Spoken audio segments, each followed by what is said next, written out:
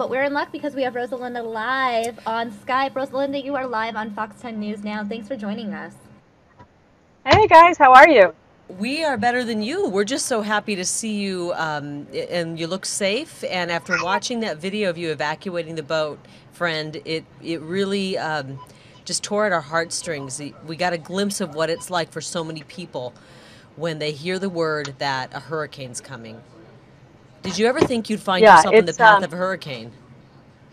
No, as you know, we lived on a boat uh, five years ago, and we never once had anything threaten us. Nothing even remotely come close to this, and um, and so this is this is really a first.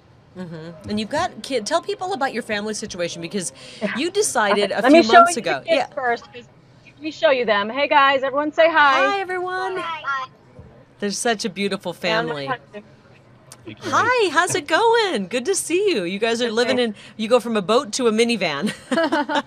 Right. That's exactly what it feels like. We actually um, we were in the hotel all day, but um, but when my husband was tying the when Nathan was tying the lines Mm-hmm. to try to secure the boat as best we could, it's really difficult work, and he fell in, and his phone was in his pocket. So Oh, no. he has no phone. and Obviously, we need one. Um, he's a physician, and so there may be cause for him to need to help. So we're out uh, right now going to get him a replacement phone. oh my gosh. So- well, if that, Yeah, I guess. it's been one of them. It's been about 24 hours like this. Oh my gosh. Well, you know, in watching you wrap things up and just walk away, knowing that there's a really good chance there's, that you're not going to walk back into that boat. I mean, it would almost take a miracle at this point for things to be intact. Is that kind of the feeling you're getting? That is the absolute truth of it. Yeah, I mean, you know, I, I, I'm. There is very, unless something miraculous happens, there's very little chance that boat will not be damaged. It's right in the path of the storm. Um, about 300 yards from the about 300 yards from the ocean. Yeah, Oh we're very gosh. close to the ocean. close. We're right inside the Lake Worth Inlet. Um, Mm-hmm. Because of how our boat is, it's a it's a very wide catamaran. We don't fit in a lot of the slips that other um, other boats would fit in, and we have a very tall mast, 75 feet, so we can't go under some of the bridges that would lead upriver that would be safer than where we're located. Ah. Um, the dock that we're secure to is a floating dock. So we basically used ropes and ropes and ropes and ropes and, and just tied it as best we could, along with another catamaran behind us. And we basically cross tied and and now the boat will rise and sink with the dock. But I know you know they've been talking about storm surges, you know, 10 feet and Right. higher. Well, if it's anything over six feet, that entire thing is going to float up and over, and the whole marina will be gone. Uh, well, I always think about the the pictures um, that we see after the storm, where y y the photographers make their way in, and you see a house that's toppled, and then you see a boat sitting next to it, and it's uh, half a mile in, and you go, "How on earth did that boat Right. get there?" But you're talking about winds with a hurricane, a Category Four of 150 miles an hour.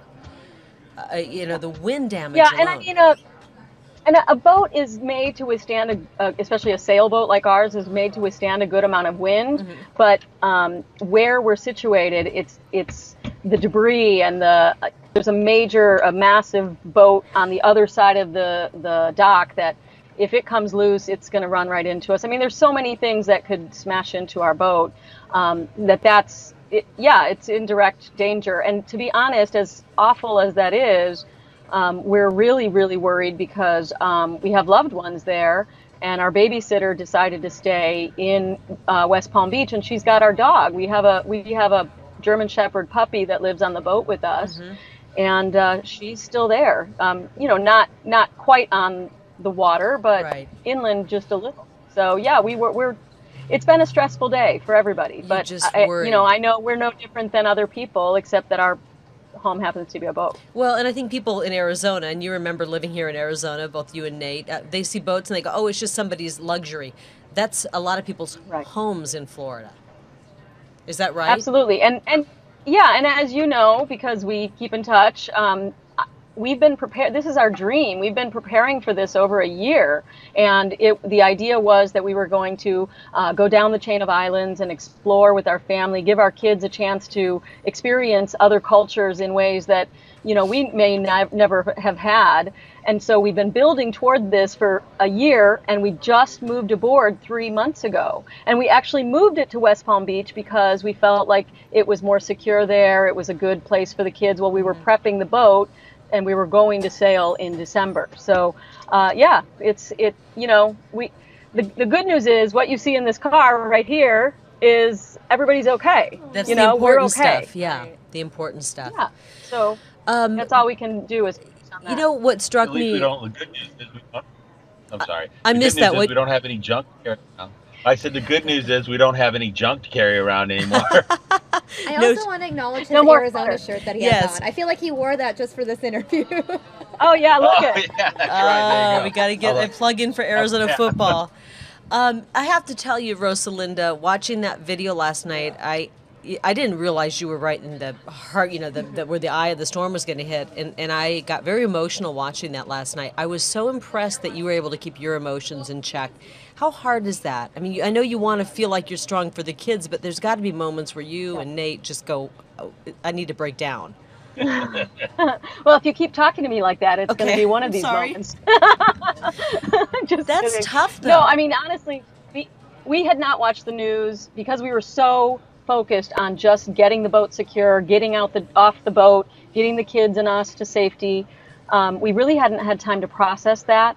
Once we got settled in the hotel, we finally turned on the news and realized, you know, you had we had heard over the past several days, okay, it's coming to our general area. We're probably going to have a problem. You know, it started escalating and escalating. It wasn't until this morning when my daughter and I went to breakfast and I realized, oh, all the worst case scenarios are happening, and that's when I broke down.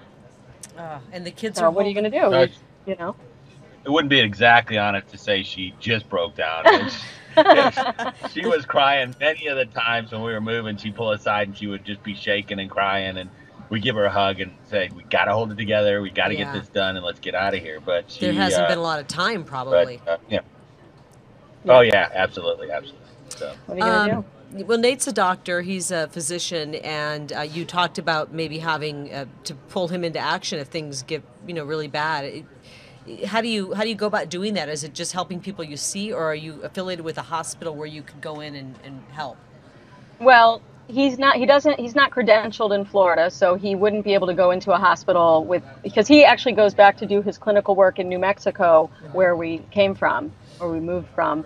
Um, he does that once a month, but if there's a need, I mean, medically, he obviously could offer assistance if they need it. I mean, if, if there's an imminent threat and some somebody's physically needing a doctor in the moment, he can help. Um, he actually belongs to a group of hospitals called MCare, and he helps them. Um, you know, he, he's a vice president of integrative medicine, so he goes in to different hospitals to help. But that's more in a in an adminis- and what would you call that? Like a just a, a different kind of yeah, an education capacity. But he's the kind of guy that would be uh, good good to have around when the storm passes and if there's somebody who is in need. Um, the kids Well, seem to to be mention holding up okay. engineer. The kids seem to be um, holding up okay. Do they think this is just an adventure? Hi, what do kids. you think, Ahava? Hi, that's Ahava, and that is Ziva. Hi, Ziva. And what do you think? I think it's scary. She's Z? scared. Oh. oh. she said, "I think it's scary. It's hard because they're off mic, so you probably won't be able Yeah. to hear them too well." But they're they're doing pretty well. I mean, do, what do you think when you look back and uh, maybe in a month or two, are you planning on getting back on a boat and doing and continuing with your uh, idea of, of exploring, or I don't know. I hope. I really hope so. This was definitely my dream, and I pushed this family to do this, and I've been really wanting to do this for quite some time. Uh, we were waiting until Samuel, who who hasn't said a word way back there, because he's watching a video. Um, he is. Uh, we've been waiting for him to be old enough to do this because he's five now, and uh, for safety reasons, we wanted to make sure he could follow instructions and be safe. Yeah? So we felt like now was the time, but obviously we may have to reassess that, and we don't know yet. We don't know. There's there there is a there is a financial consideration to that boat. It wasn't very cheap. so didn't look like if it's it. gone, gone. You know? Yeah. it was like it was it was twice as expensive as our house. So Wow. yeah. Um, I don't know how things like that work because I've I've always been on dry land. But do you does insurance cover something like that?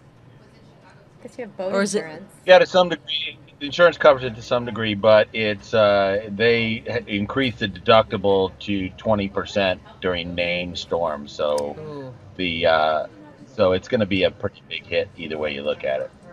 Yeah. difficult. Okay.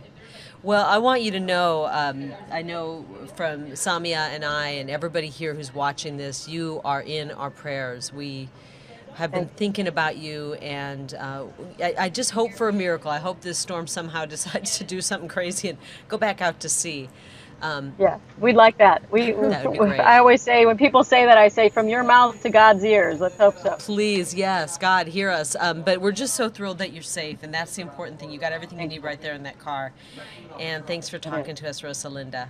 Thanks. Say hi to all our friends in Phoenix. Oh, we will, we will. And God bless you all. Be safe. Thank you. you. Bye. Okay, Bye. bye bye. Everyone say bye. Bye. Bye. Great to talk to you guys. Stay safe. Thank Bye. you. Thank you. Bye bye. Bye bye.